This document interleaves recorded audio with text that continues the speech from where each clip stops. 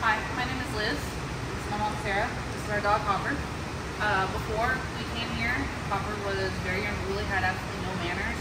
Uh, one of our biggest complaints was she was dog aggressive on walks, and so we could not take her out and give her the exercise that she needed because she would pull so hard. She actually knocked me down once, and I had to hold on to her uh, the other dog passed. Uh, when we came here and got to see her the finished product, she is uh, completely obedient. She comes when she's supposed to, sits.